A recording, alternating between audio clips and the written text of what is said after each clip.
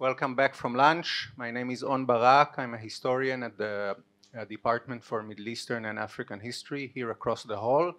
And I will be your captain for this panel, Violence and the More Than Human.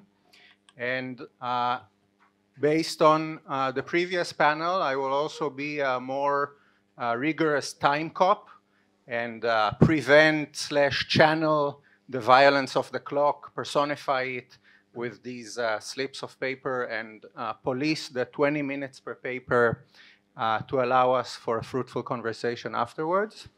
So without further ado, our first paper is delivered via Zoom by Jo Ann Oravec.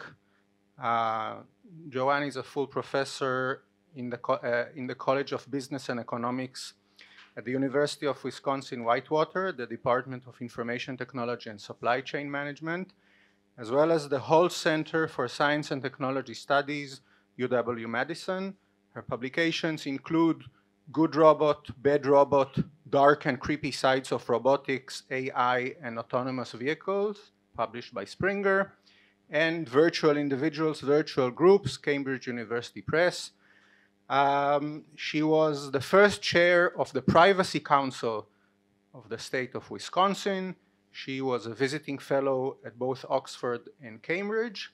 And the title of her paper is Robots, AI, and Violence, Intelligent en Entities as Symbols of and Triggers for Human Aggression. The floor is yours. Thank you so much for your kindness in setting this up. And uh, don't be afraid to uh, tell me when that 20 minutes is up because I tend to uh, talk a lot.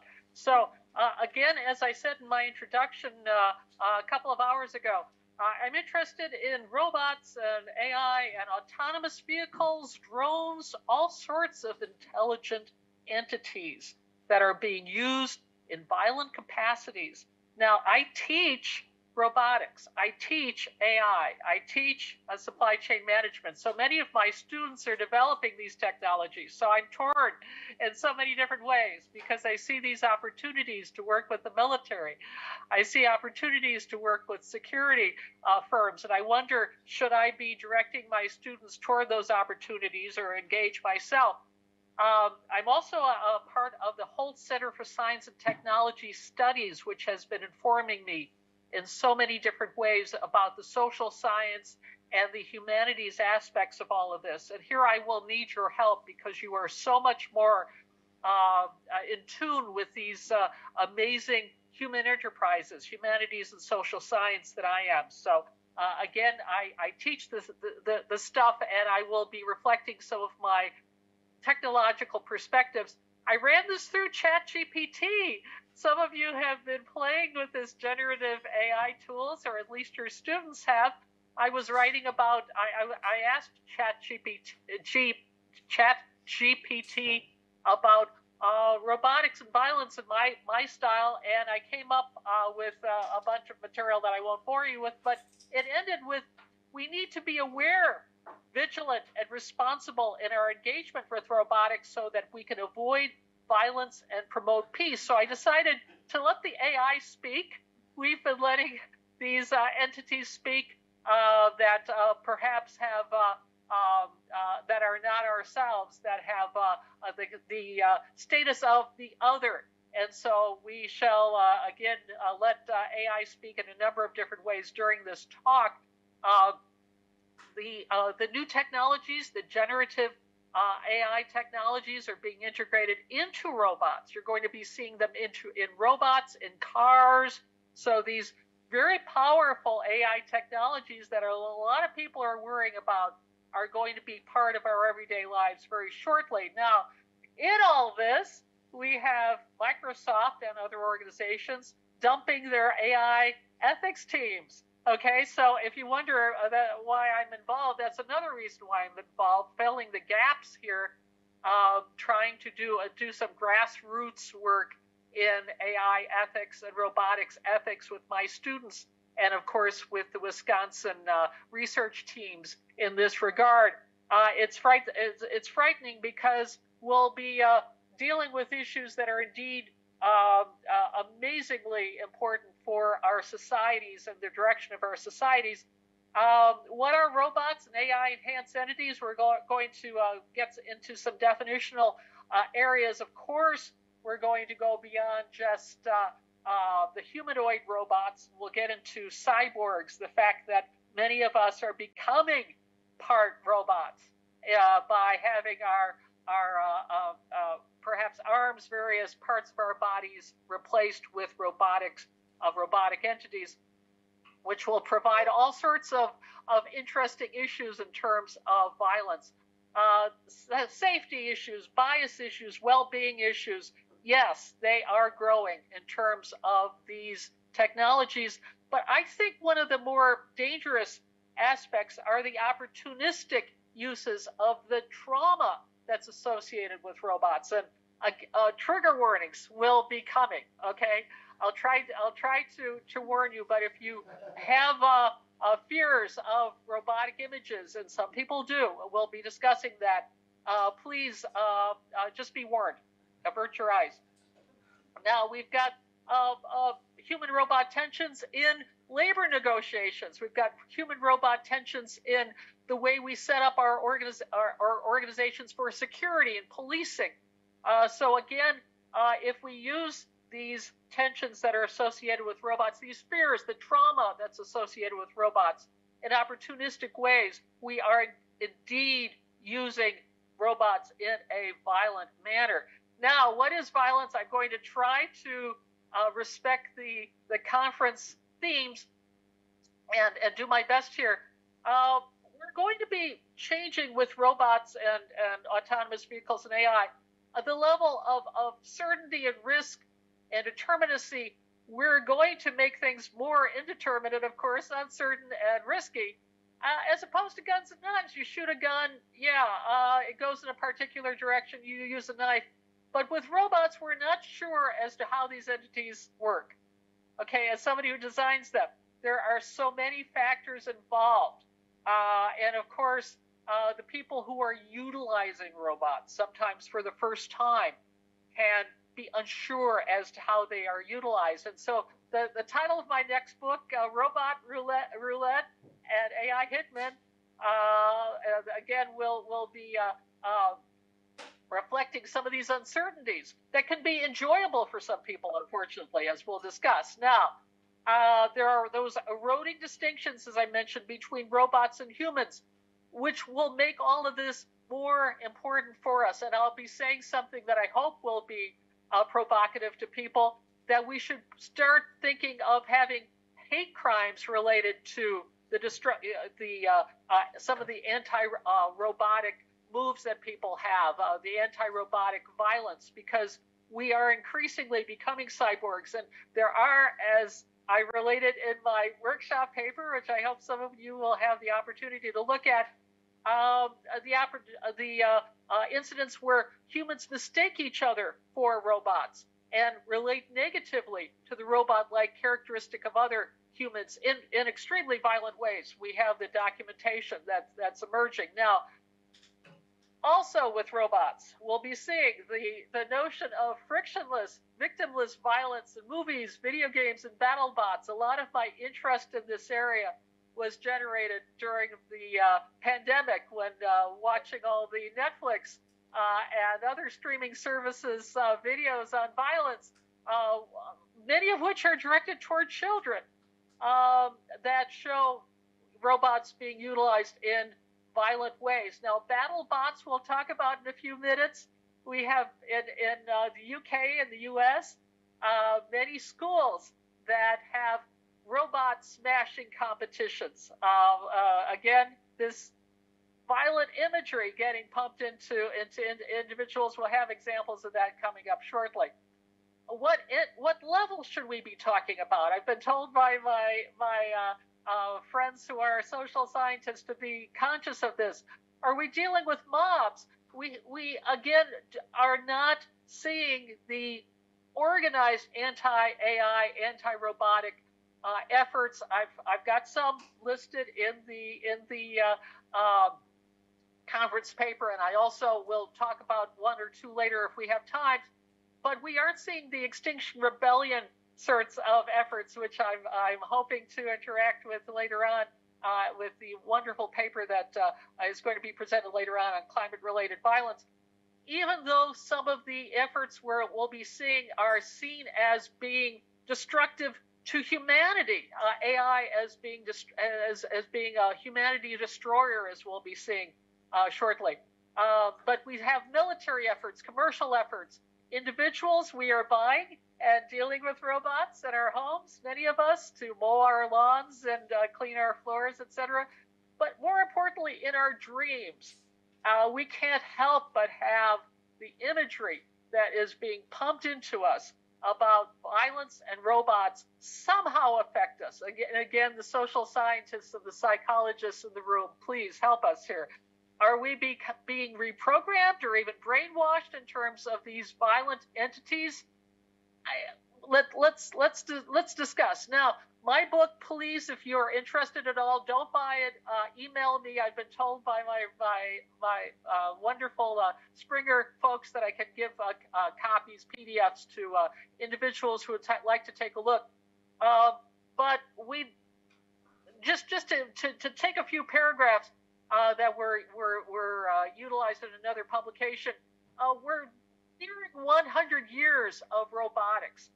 We're dealing with something that emerged in full force in 1923 with uh, an amazing play and related uh, societal uh, offsprings. Um, RUR, Ross, Ross, Rossum's Universal Robots. We've got um, uh, the robotic character, uh, the word robot coming from forced uh, labor, and of course, my I'm, I'm Slavic, uh, a, a, Slavic word for forced labor. Uh, what we've got now is a, world that is getting Um, saturated with robotics. Uh, this is a little paper that I got published in Change Management. I'm bringing this up because some of you might want to publish in this area, and I'm praying you do. Uh, but I sent this off to uh, a, violence-related uh, to a violence-related journal, a, a well-known violence-related journal and got told that no one wanted to review papers on robots and violence. This was about three years ago, two and a half, three years ago. Uh, since then, I'm hoping that people were more interested. I did get it published uh, in a in a uh, uh, uh change management journal, uh, but it's it's still emerging as a field. Now, now think of it as a, an imagery. One has this incredible society that's filled with with all sorts of tensions. And on top of this, we drop these entities, these robots, these intelligent entities. Of course, there will be increased uh, uh, forms of, of, of, of, violence, tension, trauma, and all that. It's our job right now to try to unpack this. This this this paper is special to me because I was trying to highlight all the deaths, the the the carnage that's in modern workplaces because of robots. Uh, arms arms loss on, on the part of, of human beings because they didn't understand what the robotic uh, movements would be and all that. So this paper focused on violence by robots onto individuals. My my workshop paper, of course, uh, for those of you who read it, I'm saying, of course, uh, focused more on people attacking robots. Okay, humans attacking robots, rage against robots. So a lot of what I'm going to be talking about deals with that rage against robots and how to under, understand that. And this article unpacks that. If I don't have time uh, uh, today or tomorrow, or if, if you email me, I, we can converse. Uh, this notion of hate crimes uh, somehow being being elicited as a way to identify uh, the types of crimes that are robot related, that are robot hatred. Uh, why are we concerned about this? Because it's happening. Uh, uh people are brutally assaulting robots. Uh, I got to know this issue very personally when I was giving a, a mundane lecture on robots and, and, different kinds of robots for, for facilities. Uh, and I got scared because people were telling me, gosh, those robots that you're talking about, they won't even last a week or two in, in, in their organizations because people will bend the bend the antenna or put gum over the uh, uh, the uh, um, lens of the robots, and they'll be made uh, incapable of working or or perhaps uh, sabotaged in some way. uh, so that they would hurt other people. And I, I, I, didn't understand this because here are these cute robots that my students work so hard at putting together, and they are getting sabotaged in organizations. This isn't studied enough. We don't have the data here. Okay. Uh, I, I, I collect as much as I can. I, I cajole people for the data. We need efforts to find out who's doing what. Uh, and this isn't an era where we're getting told that AI will enslave us. Of course, uh, those of you who are checking your newsfeed uh, regularly see all those articles about AI uh, somehow being a, uh, uh, a scourge upon humanity and somehow uh, destroying humanity at a larger level. another level of violence that we're talking about. We had those marvelous lectures early on telling us about the many kinds of violence. this, this would be a pervasive uh, violence against humanity as a whole. Uh, but uh, in all of this, we have the the the notion of violence at work, uh, perhaps related to burnout and job security. I have a list of the many different kinds of reasons why people in workplaces, uh, uh, documented reasons with with whatever literature I could find, are people why people are turning against robots in in their workplaces. Um, and also, I just at a lower level, here, this little cute robot, okay? Uh, people are attacking these food delivery robots as they bring lunch to to uh, uh, hungry hungry people. Uh, they are they are very sweet little robots. There's lots of ways to gum this up and to make it a traffic hazard. I like to bring up this as an instance because there are ways to send this little robot, uh, confuse it so it will basically cause cause a, a, a catastrophe in a in a in a, crowded uh, uh, thoroughfare. So again, even though some people love robots, uh, Starship robots making delivery food deliveries at George Mason University, we still have people who are using them in aggressive ways. And we're filling the world with security robots now uh, that are also being uh, uh, confused in, in, in, various ways and, and, and uh, sabotaged in various ways, as well as doing their duties to uh, uh, report various instances and, and in some cases provide directions as well. Now, let's talk for a couple of minutes about a very famous kind of, of robotic terror, Metropolis. This was a of a book that was written by a woman, uh, Thea von uh, and it was turned into an amazing movie. Uh, she, she also wrote the, wrote, wrote the film script, but it's the movie is usually associated with Fritz Lang, the very the uh, noted uh, uh, director. Um, there was a, a I don't want to be uh, have the spoiler um, spoilers for this movie because it's something that you should watch.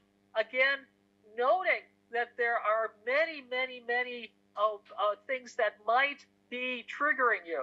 Uh, there's a mix-up between uh, a wonderful, spiritually pure woman, uh, Maria, and the the evil Maria robot uh, that uh, harkens those themes we were just talking about about people mistaking robots for people and and inflicting damage possibly on them. Now here, oh, I should have given you another uh, uh, uh, trauma alert, uh, trigger alert here. Alert here. We've got these red eyes, a, a, robot that is designed to be terrifying.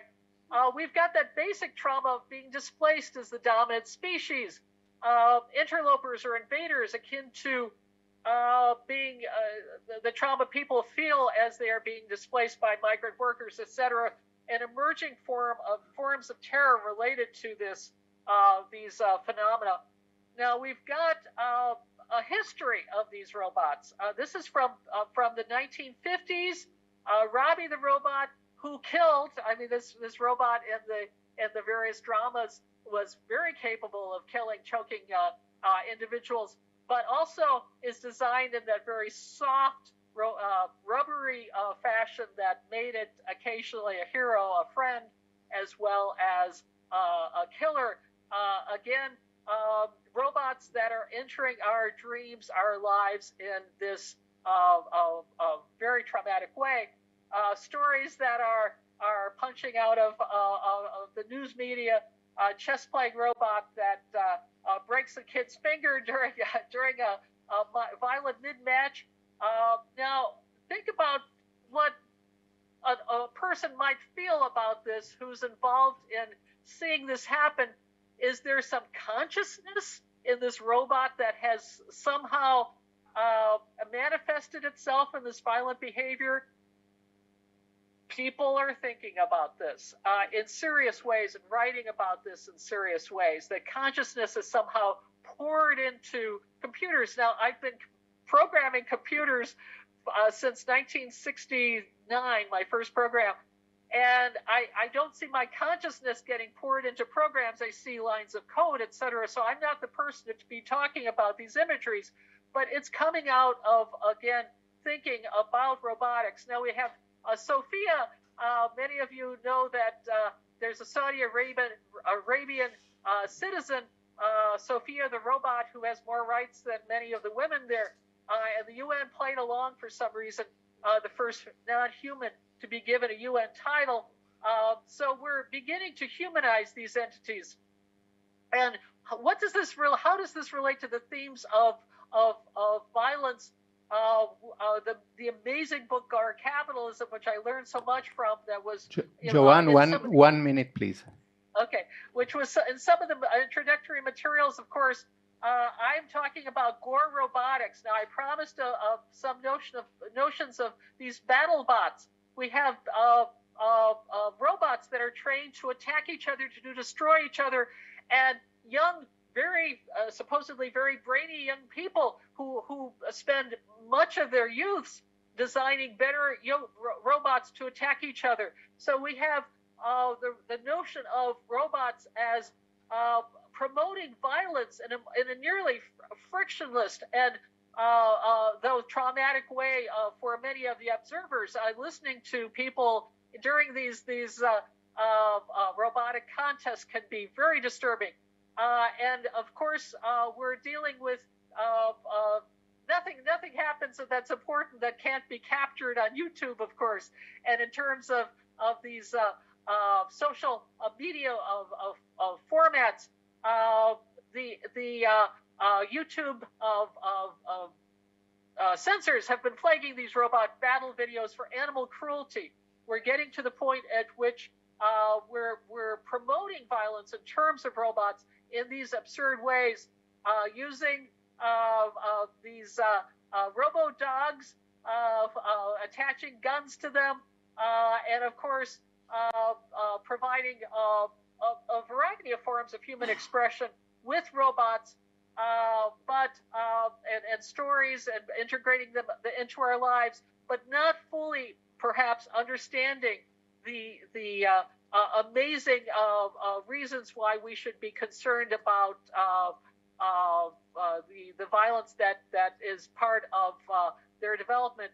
just as a question to leave us all with, I haven't seen yet of the organized type of, of, of, opposition to this that we, we, we see with the climate uh, uh, movements. Uh, some some very small opposition is happening. We have some groups uh, that have targeted sex robots and all of that, um, uh, and, and and worked along those lines. But uh, I'm wondering if this is the next stage, mob action against robots. But again, we have seen a number of different types of, of anti-robot violence. Please take a look at, if you can, of my paper or ask me for any of those other uh, materials that I have.